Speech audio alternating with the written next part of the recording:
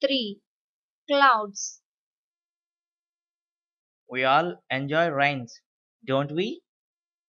We like to play in the rain. But did you ever try to find out what clouds are and where they get water from?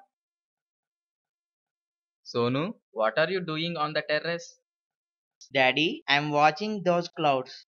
Look at them, Daddy. They are dark and big. They are also moving.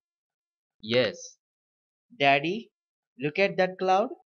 It is like an elephant with a trunk Where? up there, right over our heads.